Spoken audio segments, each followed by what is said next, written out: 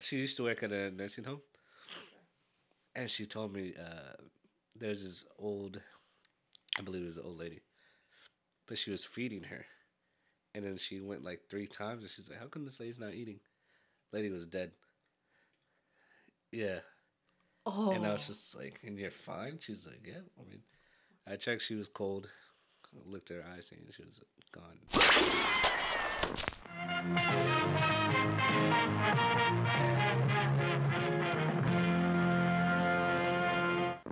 What's good, everyone? Welcome back to the Posted Podcast. I am the Postman. We got Mo Martinez, Brozay, and Lo. And no brother Jose, no young Daniel, nothing. He ain't here, bruh. That boy's sick. How That dare boy's he? sick. How dare he? Our good luck charm. So, on today's episode, I actually wanted to read a Reddit post. So, someone asked the question Reddit, what is your most disturbing, scary, or creepy real story? And in parentheses, they put serious. So, someone responded with, um, a few years ago, I was walking through the woods off a beaten track a bit, and I smelt this really overpowering sweet smell. Being nosy, I pulled back the undergrowth to have a look and found a dead body. The guy had clearly been there for a while and wasn't looking great at all. He was all swollen and green with various runny bits. The local wildlife had also been dining well for a few days. So you got like wolves or something. Good for them. Stupid. I called the police, who told me to wait with the body until they arrived. Oh hell no! You got me fucked up. No. I would have been like, "Nah, he's here." I would. Um, here's the dropped pin, and it will. I'm sharing the location. I'm leaving. there you go. You can call me. This is my number. Hell no. Being in the middle of nowhere, it took a while for them to arrive, and it got dark, and I was, and I just sat there No. in, in the dark with them for, No. for a long time. I'm good. I wouldn't know. No. I wouldn't have even. I would have left. Yeah. I wouldn't have even called anyone. I'd be like, "Nope." No, I would have called and I'm out.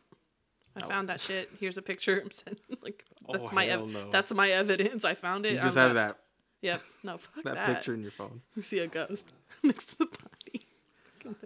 So it turned out he had committed suicide, Oh. and so for a long time afterwards, I had dreams about him, and he would talk to me, and not nice things.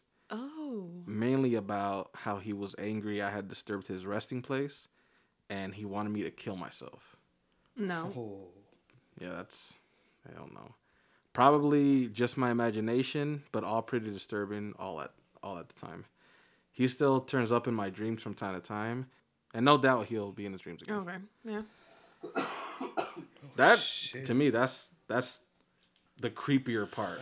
It's just Is everything after the fact? yeah, and them talking to him like saying, Yeah. I Fuck want you to. that. I want But you you to. know what? In a sense, when somebody has n- unfinished business, like that's that's pretty accurate on the level of like what the fucking disturbing. It's more disturbing because you you have to sit there and go through that. yeah, But in a sense, like bro, you and mi- mind you, we probably should put trigger warning. Um, you committed or you un- you unalived yourself in this Right. sense, and um, with that, somebody's gonna find you. You can't be upset. Like that was your choice, and unfortunately, like oh, you're talking about the dead body. yeah, and like, you know, spirits have unfinished business sometimes, and but if that was the case, like I don't know, I like honestly, like that's just mind boggling, because it's it's hard to believe that maybe it's just his subconscious mind thinking of this, or that a spirit would actually linger to come back and haunt somebody like that. Because I do believe that spirits do come back if they unalive themselves like that but not in an angry sense. It's more like they're just lost souls. And there's a gray space that you go when if and you know wh- whoever wants to believe this in the sense cuz like not everybody's going to believe this, but there's a level of forgiveness that we go through and judgment and that that can relate to like what what you read in the Bible and biblical stuff and to to get to that next level of all right we're of peace i guess of light and peace you have to believe in something and be- believe in that higher power. Mm-hmm. Otherwise you stay in this gray zone in this gray space kind of lost and that's why we have quote unquote hauntings mm-hmm. But um yeah i don't know. When somebody unalives themselves like that i just feel like they're they're lost to begin with. They either have to accept god in their sense to move on to another life or they're stuck. Yeah, there's to me what's creepy like say say you're at home and you just see some person in your house, every day. You know. no, but like some, someone you didn't know. yeah. Just oh, I'm, yeah I forgot. i mean i've gotten very lucky that it's been people I've No, no, but but but I'm talking about say it's an actual person. Yeah. Like someone who who broke in is I don't know, stealing or just or like how Jose, you know, or how Brozay he he saw that old man. So it's like just being a stranger. That is enough to like make you, you know, just scary. Mm-hmm. It's it's already so just imagine, you know, him that just sat there with the body, you know, the cops first told of him- all you wouldn't you couldn't catch me doing that like you're not gonna tell me to sit here and you take your sweet ass time to come find me and and he was No. in the middle of nowhere, so they no took thank a you while. hell to the no not I probably happening would have. I probably would have dropped. Not gonna lie. Respectfully, but I'm gonna. Respectfully. No, I have this thing where um, my family knows it. Like when I see a dead a dead animal, my legs tense, like they freeze up, like they go numb. Really?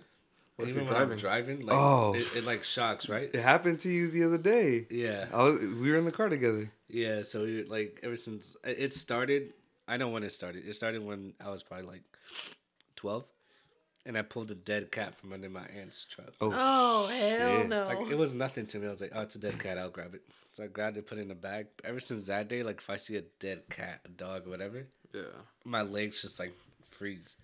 Even Like, like, like calambres, like on Yeah. my legs. even like a squirrel, like even Squirrel, dog, like anything obviously a bug and this shit ain't gonna get me. But like a dog, a cat, the furries. skunk the furs, yeah. A skunk. Oh. raccoon A skunk, yeah. What if it's a hairless dog? Lalo Your saw, favorite. saw it I happen. Uh, we we heard a dog get killed on my street. Sadly, I was in the car and I was just chilling because he he had gone inside to go get his brother. Oh, you heard it get killed? They heard it get killed. Yeah. I was listening to music. I was in the car, so I didn't hear anything. yeah. Um, I just saw a car like like kind of like through my peripherals and like the the side window or the side mirrors. yeah I saw the the truck go by. It was a white truck. I didn't see it though. Like Oh, I didn't see nothing happen. But say, I'm just oh. on. My, I I looked up and then I looked back down. yeah Again, I'm in the car listening to music and I'm, excuse me, on my phone. They come out, we leave, and I, a whole ass dog just there. Like it, it wasn't like, it wasn't like splattered or anything, nothing Yeah. like It that. just but like hurt. you could tell, like it was, it was hit to the point where like it just, was a chihuahua, it probably like, like yeah. immediate, oh immediately passed away. But it didn't like burst or anything like that. It was oh. still like. oh, Hell oh, poor baby And so we're going, yeah. and so we're driving. I'm like, bro, is that a Chihuahua? And then Yeah. he was driving, and then he was just like, oh, and then I felt the car do like one of these, and he was like, oh my god, he was like, the my legs just tensed Yeah, up. and it happens for like five seconds when I'm driving. But like if I'm walking, yeah, my legs are shot. Like Damn. it's just a weird feeling. To hurt. Like it just I hate it. Automatic. It hurt my heart, bro. I, I immediately thought of my dogs, and I was just like, bro, like I'm hunting somebody down. Oh I'm hunting that truck down. Yeah, I Yeah. thought it was a chicken. I'm not gonna lie. When I heard the, the truck like He it, heard I this. thought He it heard was the a squeal. chicken. I heard Oh, the squeal, see. like the squeal, yeah, and I was like, oh, chicken, R.I.P. bruv. Like it just, yeah. Like I just saw it, and then and then we're driving. The we got worst chickens on our streets, bro. Look at She those did chickens. final call, bro. I think that might I would say um that probably would change my perspective of of life in a sense. Um so like yeah, see like seeing somebody die or pass on, that I'm not gonna lie, it's happened twice, and I have I've had to witness that with family members, mind you, and you know it was all just um it was a process, and we knew it was coming, but it was just it's kind of just weird to have to ex- like witness it. experiencing or seeing somebody kind of pass away, you kind of um it's almost like a light goes out and the time I was able to witness that and you know, my grandfather, he was the biggest person, the biggest influence on my life and not only mine but other people in Redwood City, my family, just everybody adored him. And sadly when he passed away, it came it came as a shock. We we had a little bit of time to prepare but not fully process it, so it was all happening really fast. And um I remember knowing the time and know somewhat knowing the day that it was going to happen. And I just I, I don't know what I did. I think at some point like I shut off. Like I shut down, didn't really talk to anybody about it and processed it telling my mom by telling my mom and you know, she was like, "Okay." And we didn't think twice about when the day actually came that it was going to be that day cuz it can kind of like I say it once and it goes out of my head. And then it starts kind of all placing like I was able to kind of validate like oh okay that well yeah I was kind of right. This is the numbers that I, that were repetitively going through my head. And then so when everything was said and done and his time was was up he had passed and I remember just going into the hallway cuz something got my attention. And I was like n- nose deep into a freaking book because that was my biggest distraction was being able to disappear and go off into another world reading. And so i just i don't know something kind of clicked to me. I, I closed the book and i just started walking but in that moment my walking felt like slow motion. And i was as i'm as i'm walking i could see myself walking through the corridors of the hospital. It's almost like i crossed paths with him. Mm-hmm. And as that was happening, I'm going into his hospital room at the same time, seeing my family just like devastated, right? And it's a scene that nobody ever wants to remember, but this is something that'll play in my head often. And it's almost like my spirit was guiding me and I was just being pulled along, but I'm seeing myself walk and seeing myself cross paths with his spirit and just kind of looking at the same time and just kind of confusing. Like, okay. And then I walk into his hospital bed, and then like the the flat line is there, and then I could see my family just in tears, and people were were praying over him as that as it was happening, and just me catching. I remember catching my cousin because she's just like buckled, and so I don't know. I feel like that's something that plays off, and when somebody passes away, I I, I do believe that you see that little that little light of something coming out of their The breath. Yeah. I'm like, oh, that's a very accurate depiction. That that you see that person and their light kind of goes off, and they're just there, ashen. Einstein said something about like when someone passes away, uh, that it's an energy that leaves their body and Yeah. it has to go somewhere. Yeah. That it just doesn't disappear. Something like that. I try. I feel like we travel. We travel in our sleep, and I don't think that it's any different that when you take your final sleep, where are you going? Where do you want to go? McDonald's. Oh, okay. Bruh. Not sponsored by McDonald's. Not sponsored by by McDonald's. McDonald's. But I'm going. Dickie D's. He said, I'm going. I'm going.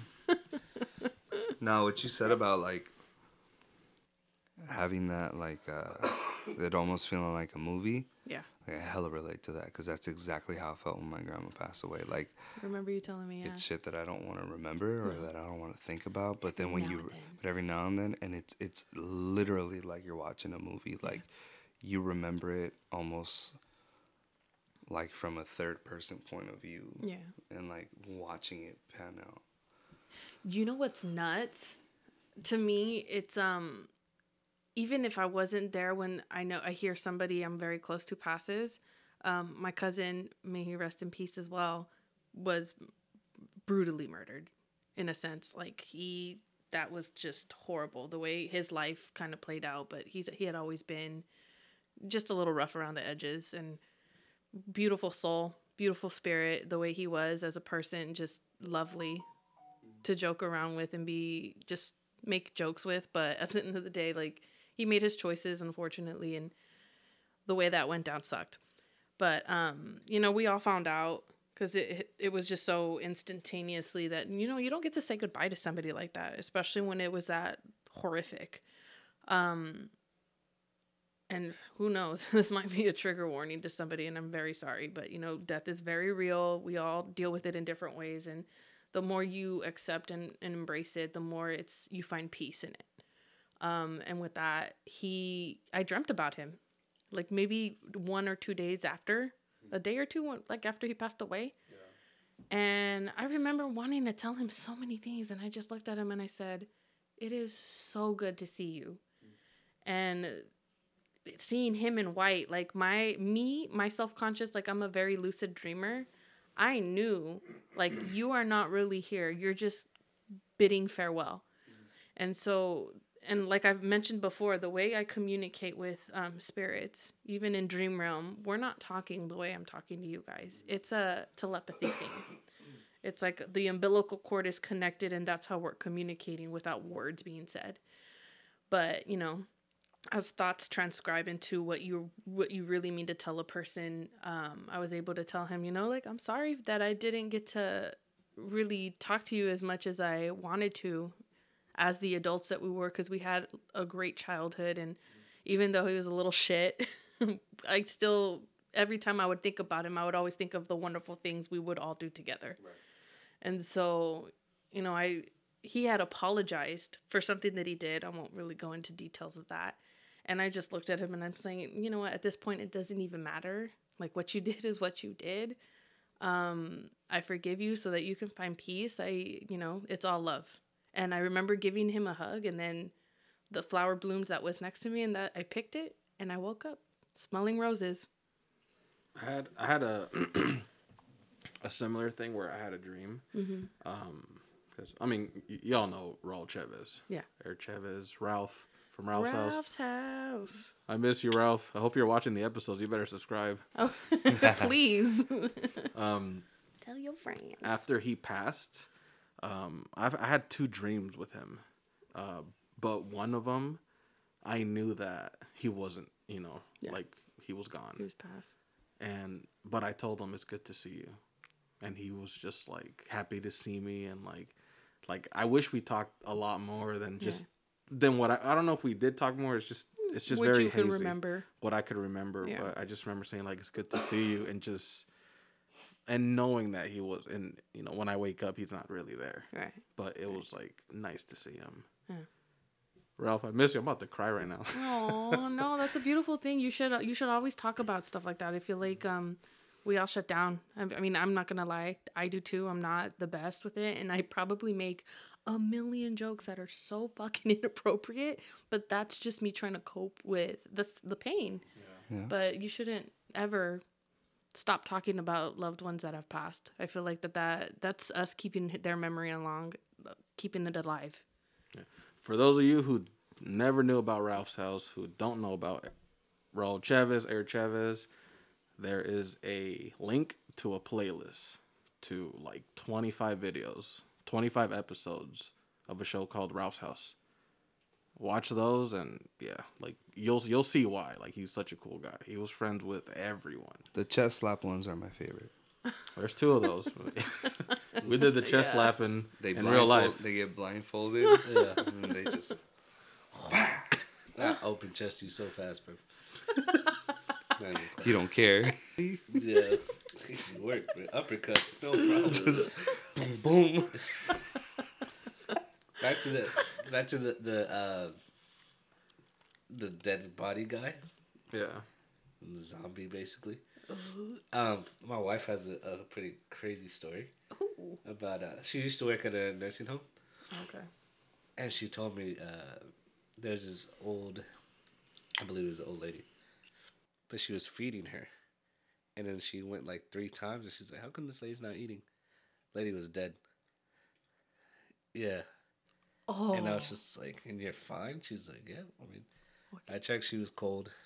I looked at her eyes and she was gone. And I was like, Wait, she like in the middle of she's eating? feeding like a dead body. Yeah, like, In the middle of eating, or just like no, she was she was already was dead, already but dead. like it was she worked night shifts uh, like a little later, but every like person was different. Like the story she tells me about nursing homes is crazy. Like one time there's a guy in a dark room naked, like calling for her or something like that, and I was just like, Jesus Christ. oh yeah, Like the I, I movie believe Smile. that. like scary movies, right? Basically. Um, But yeah, she told me that, and I was like, I would not be able to handle that. Like, You know what? Power to Tuesday the. She's a nurse. no, it's just a she was she's just trying to do it, but she was just it was just a job at a. I don't want to say the name of the company. No, no, you don't have to. Yeah, but like no power A to people that home, have right? to. Power to the people that have to do that because that that's a really hard That's job. strong, bro. I'm I too can't do that. sensitive. I can't do that. Yeah. I'd be friends with everybody, and then like. But you know it's the what? end of the road for Sometimes, them. sometimes they need that. Like, do you know how many people I've come across? Even like my grandma's in a home, and seeing the people that have helped her, you grow to like really care about these people because damn, their job is not easy. Oh, it's not. And my grandma's stubborn as hell, but she she's got like she, the most love and, and jokes for days, and she will talk sweet on anybody. But you cross her, she when she's pissed, she's pissed. Yeah, suck Ooh. the fuck up. But it's it's nice to see that there's people out there that have such a heart for that job because it is Yeah. hard. There's I people I wouldn't be able to constantly yelling. I can't do it. Yeah. Yeah, First of all, I'd be I'd be low. You have to do like poop and yeah. You gotta and change diapers. I can't do that, bro. I, I have a friend who his mom like uh she worked as that, but Yeah. she had the night shift. So all she, all she, no all she had to do was was put him to sleep. Yeah, my wife did that too. Right. It's And Like permanently? no no no, no. they're going to bed. Um, uh, but the I guess the daughter of the lady like kind of like said, why are we paying you for just you know? And they're paying her like good, She- like she was like forty an hour. oh my god. and she was there for like 10 hours Yeah. because she'd stay overnight Yeah. uh, but then they're like yeah we don't we don't we don't need you anymore Four hundred dollars a day, bro. Yeah. I still wouldn't do it. just to go night night. Just to say all right just time for bed and just close the door It's Legit, it's legit babysitting. No, it's just Adult sitting. Well, adult sitting. That movie with the old people. What's it? The it's not called The Visit, right? Oh, What's it called? The Old. The Visit's a crazy movie. no, it is a What's crazy it called? movie. Oh, it's the- called like These kids old. go to, to the beach. no. There's a new one. That was a good though. M This Night one's just Shyamalan. Eh, Two kids go It was good. okay. to visit old people at a cabin or something like that. And that girl's like Oh, the down visit. basement. yeah, Is it the it's visit? the visit. Visit. That movie's Oh. crazy, bro. Fuck that, bro. Yeah, Mm-mm. i haven't seen it That, you don't want to take care of old people after that, bro. Let me tell you. No, this. hey, watch it tonight. watch Yeah. it tonight okay. Tonight. It's called The Visit. Oh, crazy. I might watch it too. I'm not, You're like okay. cool. Yeah. Watching that. Yeah, I'm not watching that again. Chilling with the body. Yeah, I don't know how my girl was in the able woods. to do that, bro. i got 30 more seconds let me do One more, one more. Go, go, go, go, go. thank you everyone for watching another episode Well, What? you got 10 seconds. Hurry up. Who just squeaked? I'm sorry. thank you.